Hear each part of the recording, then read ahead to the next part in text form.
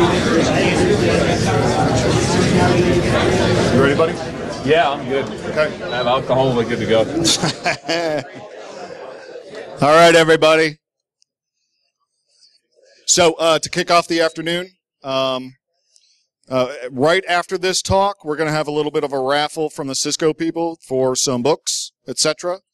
Uh, but welcome to our afternoon keynote, and this here is Mr. Chris Roberts.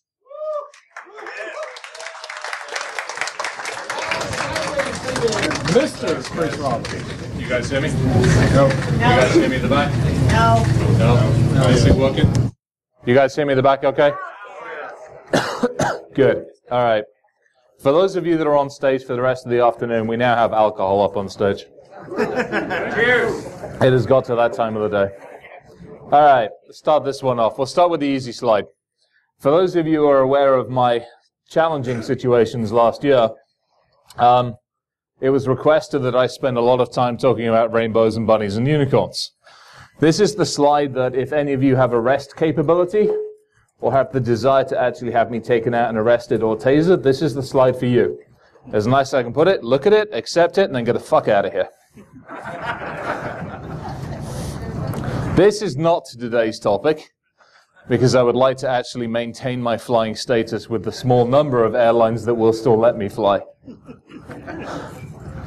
I will, however, have one slide on this whole shenanigans. Um, yeah, it's you're gonna have to accept the fact there's bits on the left and the right, the center. For any of you that read the frickin' affidavit, they managed to compress five years worth of research and a bunch of conversations that we tried to have with the various different organizations into a couple of paragraphs. Completely got it wrong, had absolutely no chance of spelling half the damn stuff correctly, and kind of screwed it up. Obviously, it wasn't accu- accurately represented. And obviously, uh, on the 2015 flights, not too much was done. Um, this is being recorded, so if you wouldn't mind putting that down, or are you just taking a picture? There we go. Well done, that man.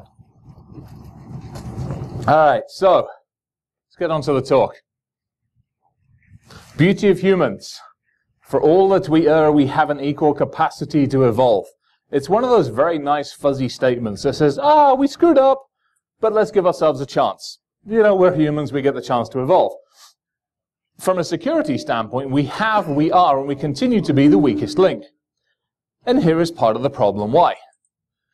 When we have to put signs up saying don't fondle or molest the crocodile, hold on to the chainsaw by the right end, and leave the burning building before you fucking tweet, we have a problem with society.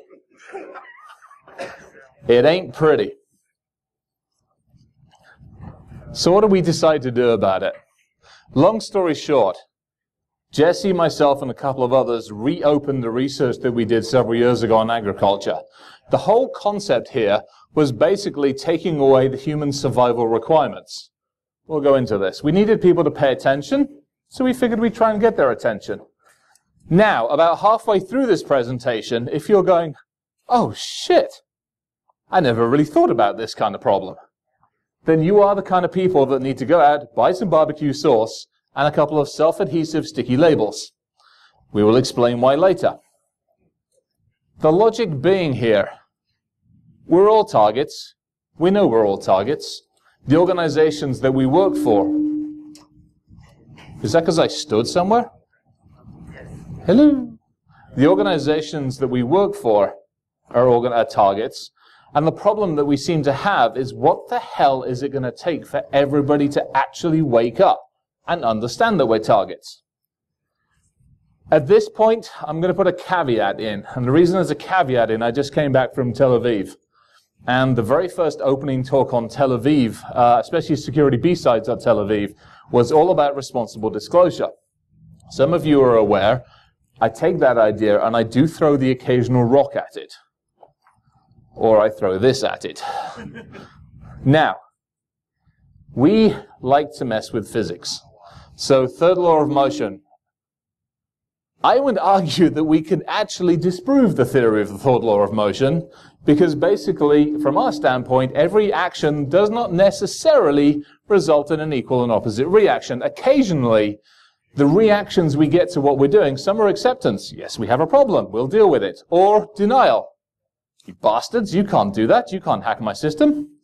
Cooperation is an occasional one, but more often than not, it's like, oh shit, we're on another government list. the discussion, what the, f- is this the beard that's getting into?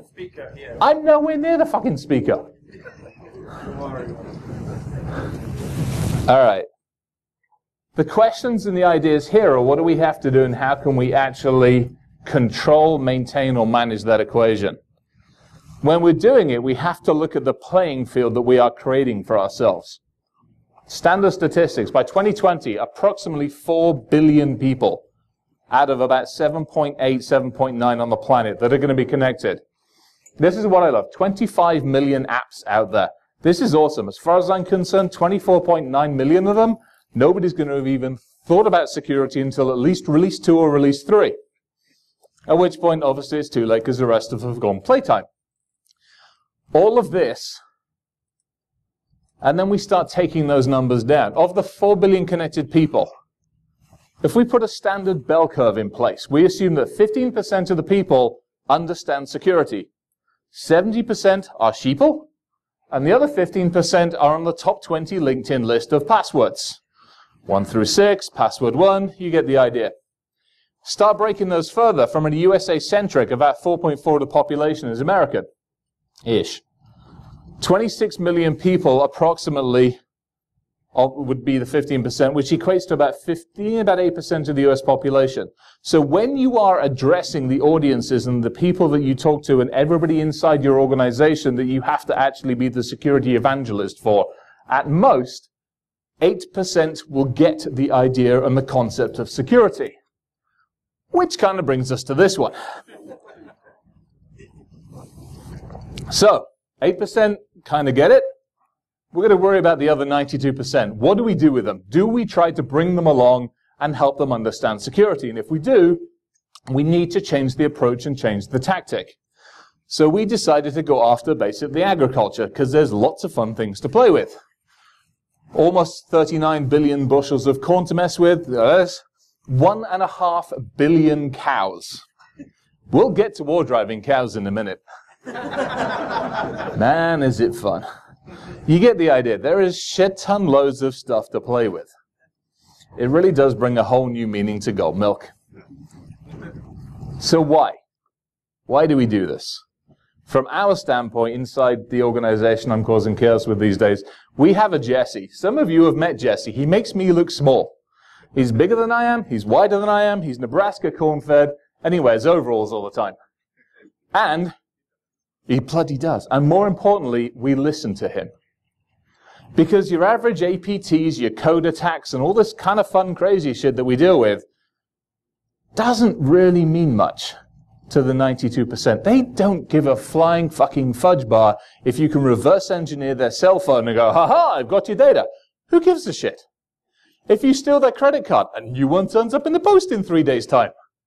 You steal their identity, eventually you get a new one. Somebody's been filing my taxes for the last four years, for fuck's sakes. Just wish they'd do it properly. I'd pay them, actually, probably more than they try to get out of the system. But the real thing here is, okay, when we have these conversations, we talk to the 8% at most. How the hell do we get the other 92% of people to pay attention? Well, we hack milk the start. So I'm going to pick on England. Actually, England's funded. How many of you guys have been following this freaking Britain exits the euro shit? Holy, why the fuck couldn't Scotland do that? they might do. So we're picking on England because there's too many freaking English people in Scotland, which is why we didn't get the independence in the first place. And in doing so, we're going to go after proper intelligence gathering. The whole concept here is pick a target. In this case, we went after an organization called Forward. We did our research. We did the analytics. We understood our target. And in doing so, the nice thing about these guys is they gave us an entire list of who has their hardware, their software, and their systems, including where they are and exactly how many cows they had.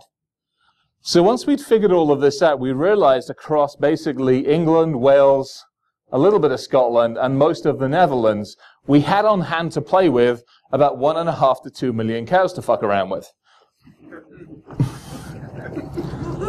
oh, they ain't started. At least they're not sheep. Different accents. Mm-hmm. So we do our research, and this is where I've got a squirrel moment in a second, but this is where you actually research something. You can use the open source intelligence, the human intelligence gamut. For crying out loud, Google's your friend. An extremely good friend invented the whole concept of Google hacking for crying out loud. Read the books, do the research, and figure it out yourselves. The forums are awesome. We tend to forget that. In this case of Fullwood, you've got the guys who are coding their software, sitting on Java forums and SQL forums, explaining they can't get the backend database to work. So being the really nice, helpful people that we are, we asked them to, you know, hey, give us some code, we'll take a look at it for you. So we did. including all the embedded IDs and passwords. I mean, we're good people. We're nice citizens when we do this stuff. The stuff that we have here, so on a side thing, from those of you that know me, I had uh, an organization, but we've been messing around with darknet hunters. We've basically built a tool that brings in about 35 million pieces of data every single day, has some fun with it. Inside that tool at the moment, we have about three quarters of a million Cisco architectures. So when the Cisco admin goes, oh shit, I've got a problem, and dumps the entire config on the database and goes, hi, can somebody help me? We have those. How many of you actually go out to the forums and look at that data on behalf of your own organizations? Not many. So we will have a squirrel moment for a second, because this talks about threat fucking intelligence. How many of you guys have seen buzzword bingo threat intel? I almost need to take a drink for this, for God's sakes. Good gods. Log correlation is not threat fucking intelligence. Log analysis inside your own company is not threat fucking intelligence. Looking on Pastebin is not threat fucking intelligence. Better than most places will do. But for crying out loud, when the vendor turns up and goes, hi, I've got a new threat intelligence platform, after you've tasered their sorry ass, Start asking them the awkward questions like, hi, how much darknet, deepnet, how much open source intelligence do you bring? How much correlation do you do? How much language translation do you do? How much natural language processing, contextualizations, what threat actors are you bringing in? Who the fuck outside of my four walls actually cares about my data? If they can answer those questions, then maybe they're on the first or second rung of threat intelligence. But if they come in and say, hey, we do log correlation and we correlate it with these six feeds, taser them, then tar and feather them, then put it on YouTube. All right. Rant over. So, you've done your intelligence gathering, you've done your understanding of the company, you've figured out who to get after, now we hack. I love this one. Do you guys recognize it? Warlock. And this is what you end up with.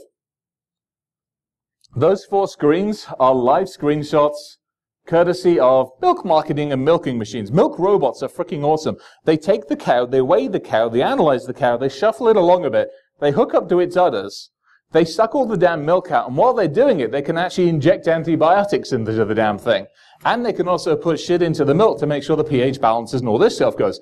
Now, if you've got access to it through basically terminal server, Windows shell, or anything else that you need to, you can also fuck around with what goes into the milk. And you can make the cow higher by giving it more antibiotics. it's awesome to play with. We have this currently running on about 150, 200 milking machines across the UK and across the Netherlands. Why? because they use PC Anywhere, VNC, Terminal Server, and this really secure thing called the cloud. and of course, it's Windows.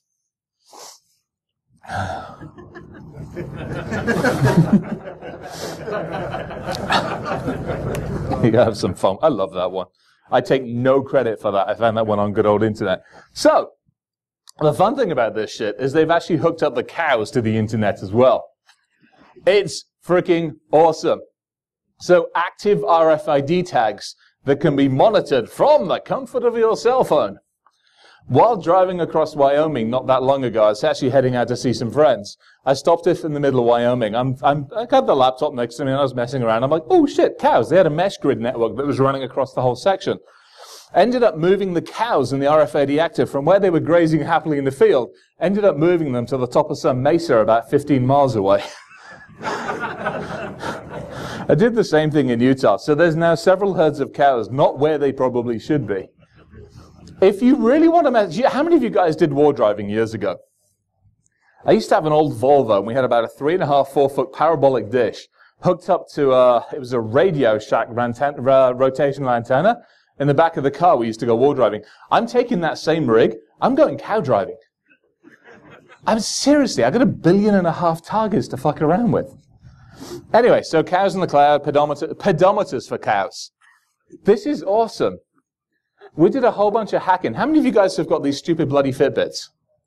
They're all, I mean, seriously, there's some, I, I think I've put some of the Bluetooth code out there now.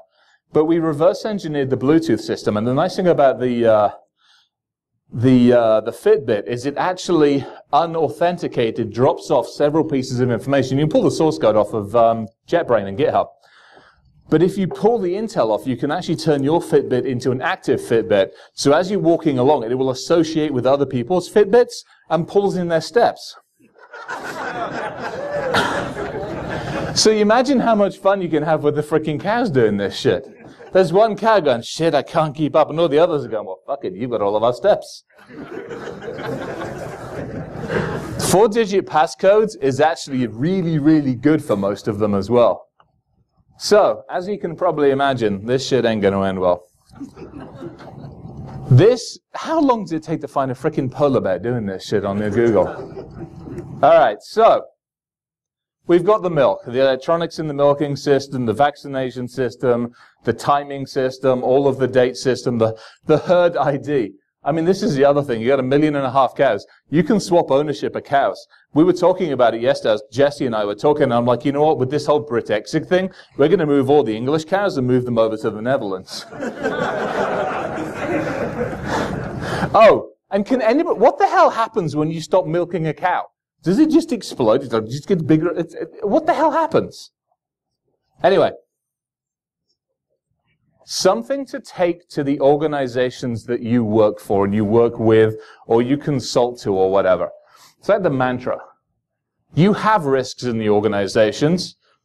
Obviously, a lot of us do research, be it part-time, full-time, whatever. How do you understand the risks? And then as we bring the risks to you, how do you actually react? And we'll talk a little bit more about it in a little bit. But it's trying to actually balance this out.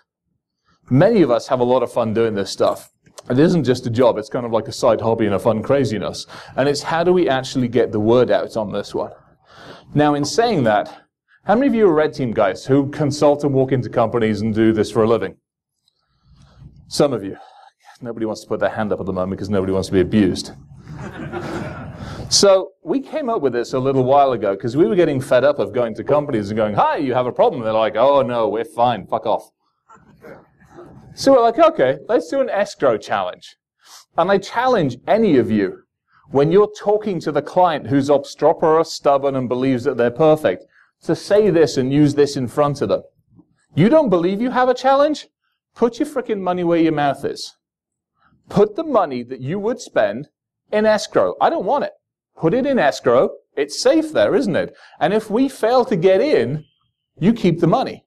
We'll write you a nice report. We'll even put the tick in the PCI box for you. I mean, who audits? How many, how many of you guys audit or want to admit to auditing?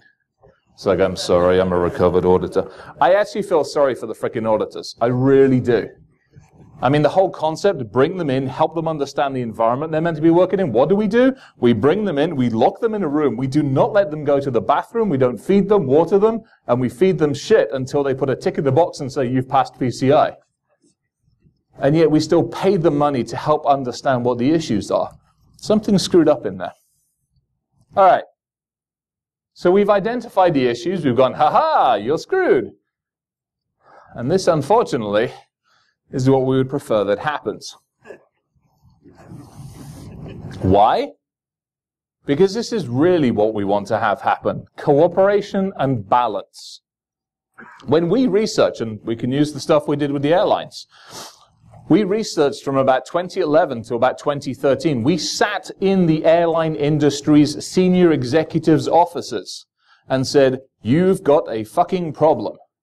We sat in the airline industry's third party offices and said, you have a problem. And all the infotainment companies, and nobody listened. Then we handed all that research over to the government and said, they've got a fucking problem.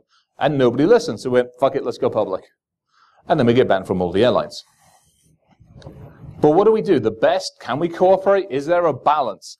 Can we, as researchers and security guys, find some kind of middle ground where responsible disclosure works, where I am the cavalry actually works, and we can get results and actually see things happening? I'm not sure, but we'll talk about that.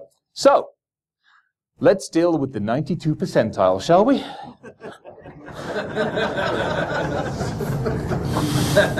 that one didn't take long to find on the internet. All right, so we've taken the milk. All joking aside, the fact I can get the cows high and I can adjust all of the milk also means I can kill the cows. I overdose their antibiotics, I screw around with their systems, now we have a lot of dead cows. And I can also poison the milk. So we've taken the milk out of the system. We do the same thing to the Wheaties and Cheerios. There's currently a whole bunch of Wheaties machines sitting with a very particular company that are reporting back to me instead of reporting back to their vendor. I'm waiting until the vendor suddenly realizes there's a whole swathe of basically Cheerio machines that aren't reporting to them. But we have them, so what can we do to them? Well, we can fuck around with the Cheerios. Instead of getting small Cheerios, you get donut-sized Cheerios. We can mess around with the code. We can mess around with the quality. We can mess around with the nice little timestamps on the same thing and the date and timestamps.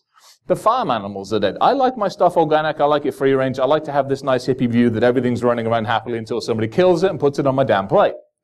What I don't like is when you've got a million chickens inside a small farm. But what I can do to relieve that issue is I can adjust the temperature controls or I can adjust the feed control systems. I can cook the chickens, freeze the chickens, starve the chickens, or overfeed them. At which point now you've got a million dead chickens. Solve the problem. Haven't exactly made PETA or any of the friends of the earth happy, but I've solved my own problems. Same thing with pigs, same thing with other other things. You can screw with their food supplies. Very easy. PLC controllers, SCADA controllers, you name it, it's all fun things to do. And you can get to it wirelessly, remotely, all that other stuff. Years ago, Jesse and I messed with crops. We basically went back into the same thing again. The smiley face that we put in John Deere's source code on their assembler systems they have in the nice things, we put it in there five years ago. The smiley face is still there. They haven't fixed their shit. Oh, and if anybody fancies going after Monsanto, I think we can probably put a nice bug bounty out there, and about half of the farmers will pay. I apologize for anybody that messes around with critical infrastructure, but it's the same problem. We all know that there are issues and challenges there. The PLCs, the smart devices, the whole bunch of backdooring. Did any of you guys see there was a, one of the research actually, he published the, uh, the cease and desist and legal letter that was sent to him it was a smart device controller dealing with the electrical grid system, and he published a vulnerability, and then he published the cease and desist letter they sent to him. The stuff's got issues. Um, obviously, the thing is, don't hit the core. I was up in Michigan, and we uh, we did a live demonstration of having some fun with that really nice pipeline that goes all the way across Upper Michigan. It's easy stuff to get into. And if you don't want to hack the core system itself, go after the vendors, go after the suppliers, go after the third party, party organizations. So at this point in time, potentially, we've taken your milk, we've taken your food, we've taken your water, we've taken your electricity, we've messed with the gas supply things, and we've done it in a non-violent and non-confrontational manner. I have not had to cover myself in blue, stand on the top of my wall and yell at the top of my voice in an Australian accent or whatever that little asshole was. we haven't had to declare war. We've shut everything down. We've messed around with everything. And basically, at this point in time, you're hungry, cold, thirsty, and wet. Which is when we come back to the barbecue sauce. Now, to Jesse's point, the farmers will likely survive. One, because they can produce crops, and secondly, they have guns. Those of us who can utilize our hands and can also lay our hands on weaponry will also survive as well, because if we don't have the food, we'll steal it from somebody else, probably the neighbor next door who is a hippie. the geeks, the geeks are screwed. If you can't use your, if you can't grow food and you can't shoot anything, you might as well just cover yourself in barbecue sauce and slap an eat me post-it note on. We have at this point re-entered the Stone Age. I actually had the tactical facepalm, and I wasn't sure if it was a double facepalm or a tactical facepalm moment. Now, to bring it back into reality, we haven't touched a single frickin' iPod, iPhone, Internet of Thing bloody device. We haven't had to screw around with APTs. We haven't had to mess around with anything really on the Internet of Things. Hopefully, at this point in time, the hungry man in the street who's part of the 92 percentile might actually be paying attention. We haven't touched any of that shit. What we have done, though, is take over all of this. Now, for any of you can see, there's a Roomba in the middle. It's freaking awesome. It's like a, it, it sits in the farm and it goes up and down the lines with the cows and it can do feeding and it can also do cleanup.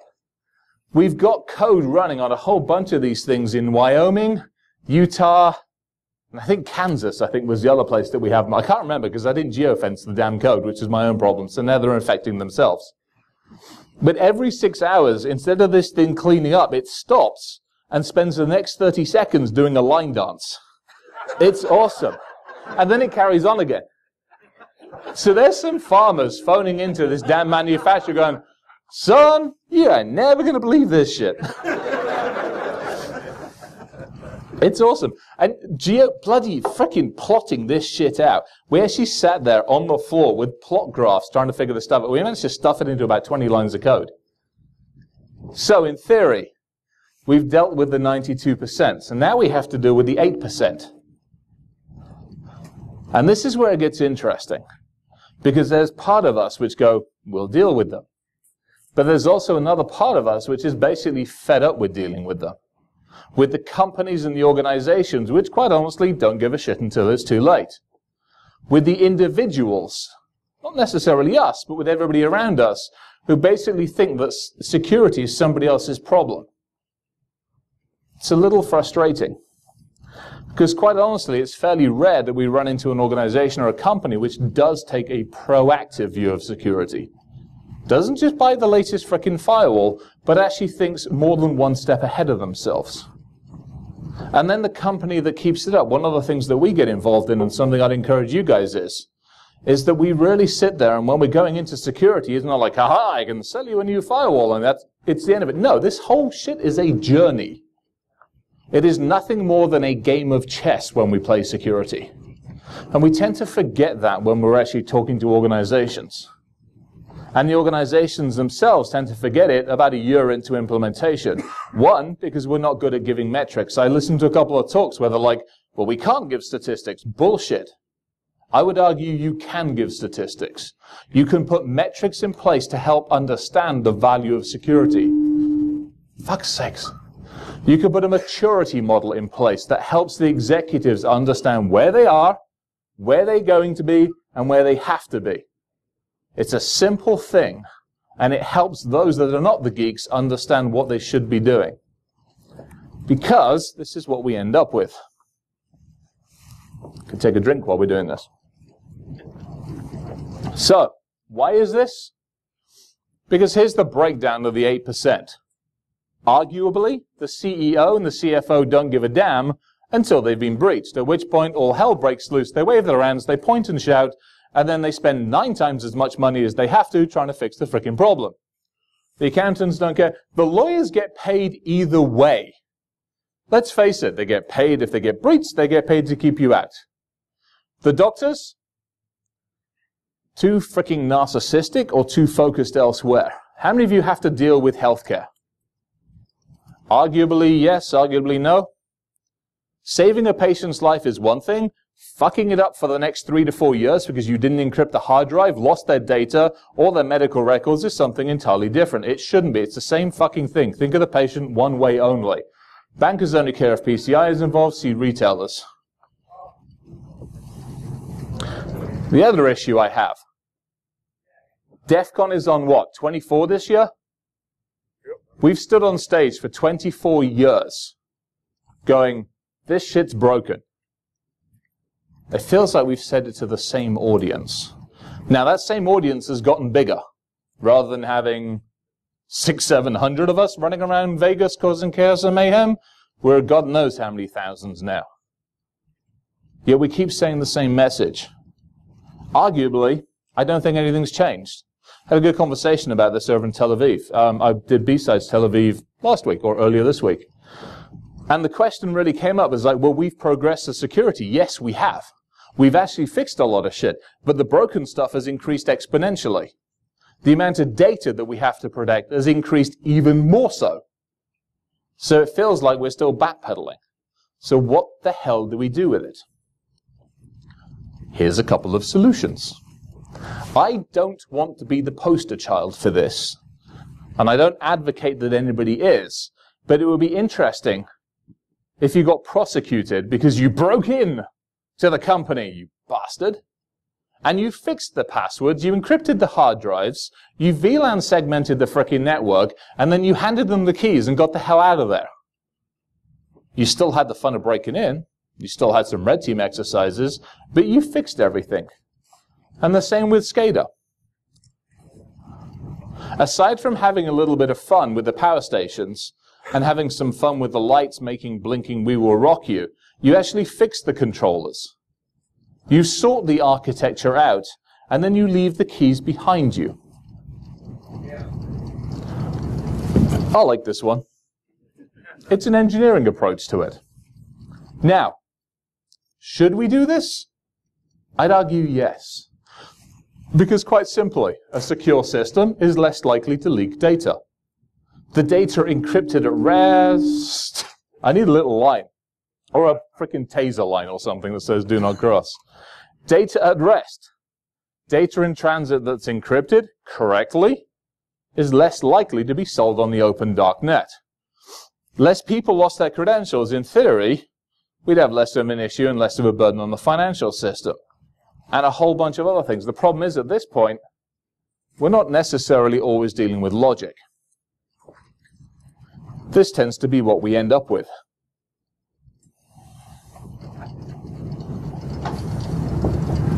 So for me and for the team and for a lot of us, the next time we research, the next time we get invited to stand up on stage, just as I'm about to do, I don't say that we stand up here and go, we're all screwed. I say that we go, hey, we're all screwed. But by the way, I also say that here's a couple of fixes.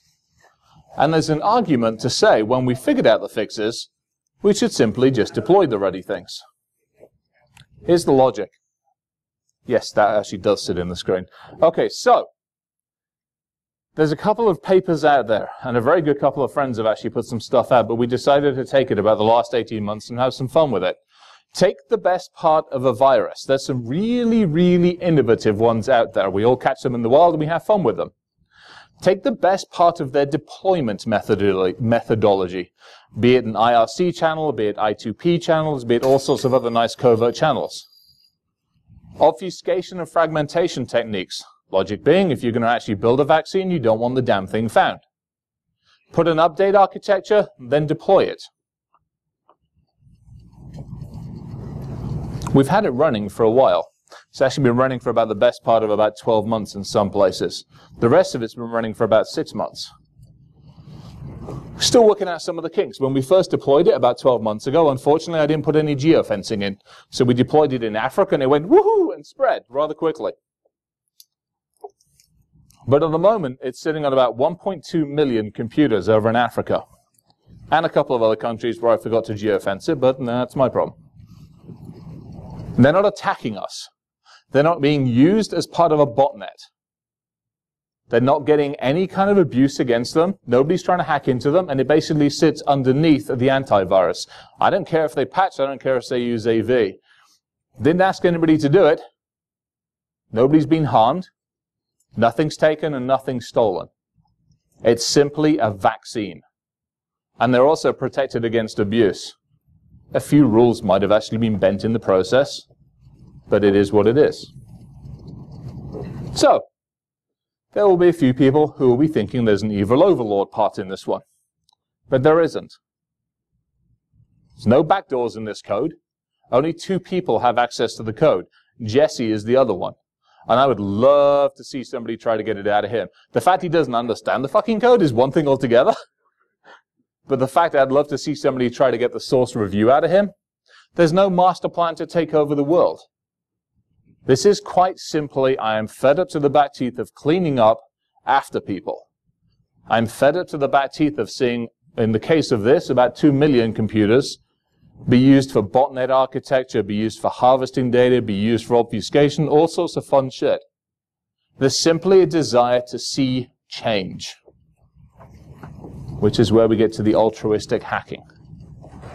And this is some slippery roads, and I'll talk about that in a minute. I actually don't see a problem with it in certain circumstances. Whole lot of embedded systems. We talk about 25 million apps that are getting put out there ignoring the fact that God knows how much crap is out there already, of which probably about a third of the vendors have gone bust or have no clue how to fix it or decide that they want to ring fence it and hope for the best. And a lot of the manufacturers ignore the issues. Something's got to change. Geek thoughts for a second. I do wish well, you can actually see most of that. So the next time, those of us who actually get to break into shit for a living, take the PCAP file, take the screenshots, and then fix the bloody system. Don't just sit there and gloat up on stage as to what's gone wrong and why it's all a problem. Put a bloody fix in place, or at least come armed with a fix. Because the whole concept of, well, we can't do it, or we haven't got the ability to do it. The next time a vendor We've dealt with healthcare. The next time a vendor in healthcare turns around to me and says, that machine over there, well, you can't scan it because it'll break it. Or you can't scan it because, fuck it, taser the vendor until they actually fix their fucking code.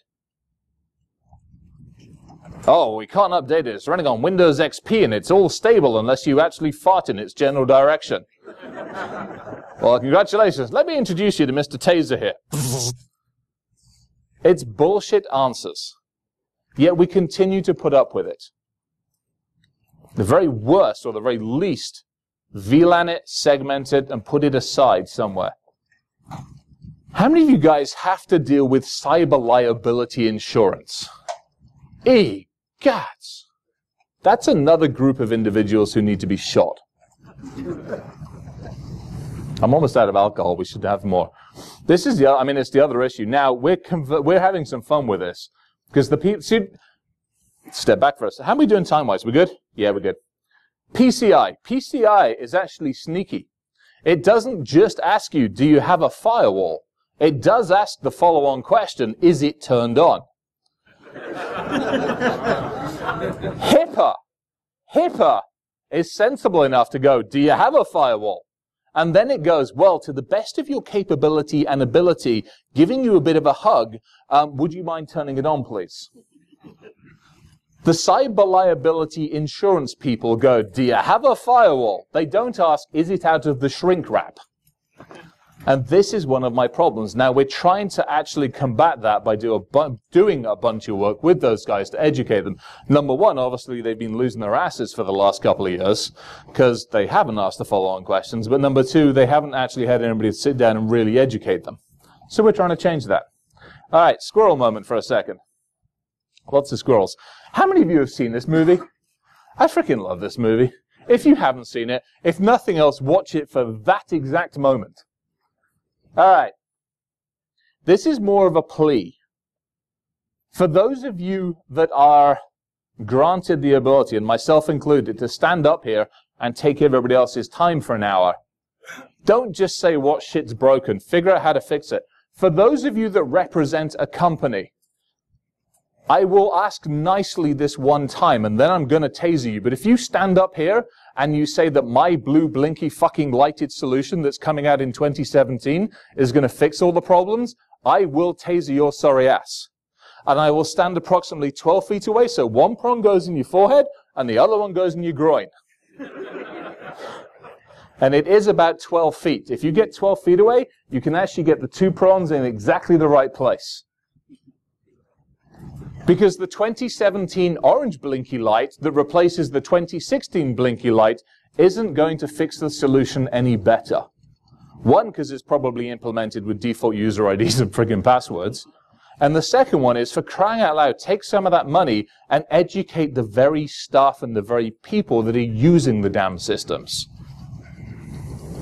So at this point, you can probably understand why we didn't want the feds in this place. All right, quick call out to the NSA. For crying out loud, if you do have all of our emails and you are scanning shit, would you please get rid of the spam? so in closing, as with all things, there are actions and there are consequences. There is the capability